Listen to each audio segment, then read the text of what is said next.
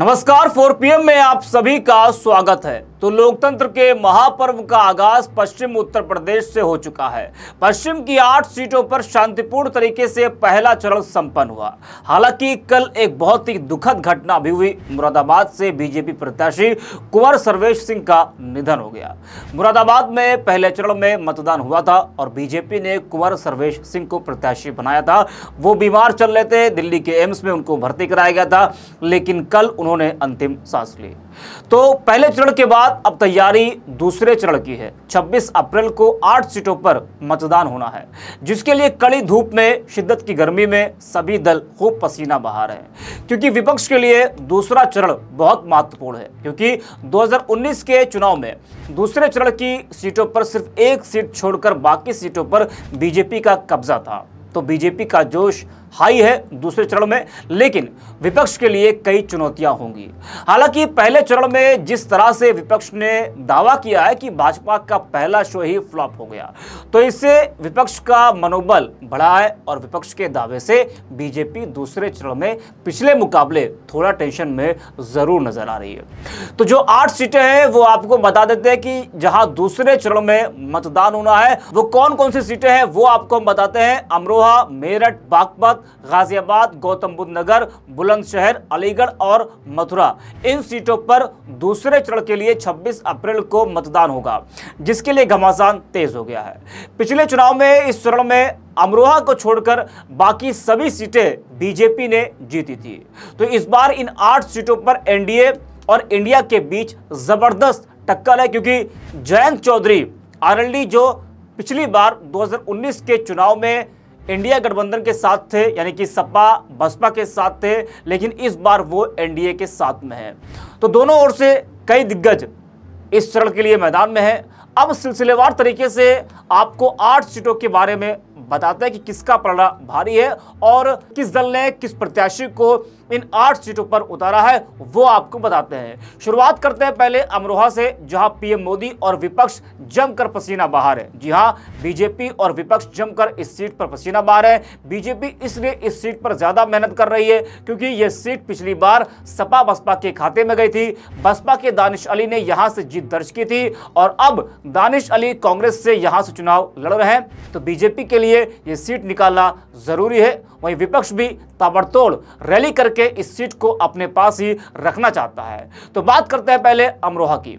तो यहाँ बीजेपी के कंवर सिंह तंवर और कांग्रेस सपा गठबंधन से दानिश अली और बसपा के मुजाहिद हुसैन के बीच टक्कर है।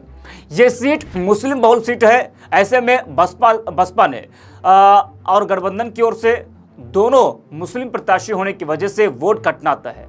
वहीं रालौत के आने से यहाँ बीजेपी और मज़बूत हुई है। तो पिछली बार बसपा से दानिश अली थे, इस बार भी बसपा से मुस्लिम प्रत्याशी ही मैदान में है। तो ज़ाहिर सी बात है, मुस्लिम वोट बैंक यहाँ पर बटेगा और सीधा फ़ायदा बीजेपी को यहाँ से होगा। अब बात करते हैं मेरठ की। मेरठ में बीजेपी ने अरुण गोविल पर दांव लगाया है, जो फ़ेमस धारावाहिक रामायण में प्रभु राम की भूमिका में दिख चुके हैं। उन पर बीजेपी ने इस बार दाव लगाया है और लोगों में आज भी उनके प्रति वैसी ही भावना देखने को मिलती है, लेकिन जब से वो प्रत्याशी बने हैं बीजेपी के, तब से वो कई बार ट्रोल भी हो चुके हैं। वहीं बसपा ने देवव्रत त्यागी और सपा ने सुनीता वर्मा को टिकट दिया यहाँ से। मेरठ सीट पर पहले भी बीजेपी का ही कब्जा था। अब बात करते हैं गाजियाबाद की। गाजियाबाद लोकसभा सीट से बीजेपी ने दो बार सांसद रहे। वीके सिंह का टिकट काटकर अतुल गर्ग पर दाम लगाया है। और कांग्रेस ने यहाँ से डॉली शर्मा को टिकट दिया है। वहीं बसपा से नंद किशोर पुंडीर मैदान में है। वहीं गौतम बुद्ध नगर सीट से बीजेपी ने लगातार दो बार सांसद रहे। डॉक्टर महेश शर्मा को फिर से टिकट दिया है। बसपा की ओर से राजेंद्र सोलंकी मैदान में है। वहीं समाजवादी पार्टी ने इस सीट से महेंद्र नागर को टिकट दिया है। तीनों प्रत्याशी अलग अलग जातियों से हैं। ऐसे में सीट पर लड़ाई दिलचस्प है। वही बुलंदशहर सीट अनुसूचित जाति के लिए आरक्षित है। इस सीट पर भी पिछली दो बार से लगातार बीजेपी का कब्जा रहा है। बीजेपी ने यहाँ से भोला सिंह को फिर से मैदान में उतारा है। तो वही सपा कांग्रेस, गठबंधन से शिवराम वाल्मीकि और बसपा ने नगीना से सांसद रहे गिरीश चंद्र पर दाम लगाया है। 2009 को छोड़कर उन्नीस सौ इक्यानवे से यहाँ लगातार बीजेपी की जीत होती रही।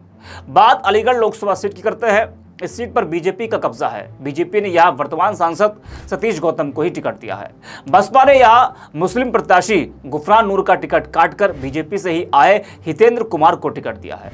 समाजवादी पार्टी से जाट बरादरी के विजेंद्र सिंह मैदान में है। जी हाँ इस सीट पर भी मुस्लिम वोटर निर्णायक भूमिका निभाते हैं, लेकिन तीनों दलों में किसी ने भी मुस्लिम प्रत्याशी अलीगढ़ से नहीं उतारा है। वही बात करते हैं मथुरा लोकसभा सीट की। इस सीट से लगातार दो बार फ़िल्म अभिनेत्री हेमा मालिनी सांसद रही हैं, और इस बार भी वो बीजेपी की ओर से चुनावी मैदान में है। कांग्रेस ने यहाँ से मुकेश धनगर को टिकट दिया है, और बहुजन समाज पार्टी ने यहाँ जाट बिरादरी से आने वाले सुरेश सिंह को प्रत्याशी बनाया है। सीएम योगी ने मथुरा सीट से ही अपने चुनावी प्रचार का आगाज़ करते हुए ये कह दिया था कि अब काशी और अयोध्या के बाद अब मथुरा की बारी है। तो ये वो आठ सीटें हैं जहाँ घमासान तेज है। अब देखना ये दिलचस्प होगा कि इस बार इन सीटों पर कौन कितना कमाल कर पाता है। जिस तरीके से हमने पहले ही आपको बताया कि 2019 में इन आठ सीटों पर अमरोहा छोड़कर बाकी सभी सीटों पर बीजेपी का कब्जा था और इस बार बीजेपी के साथ आरएलडी है तो बीजेपी का मनोबल और ज़्यादा बढ़ा है, उसका जोश हाई है।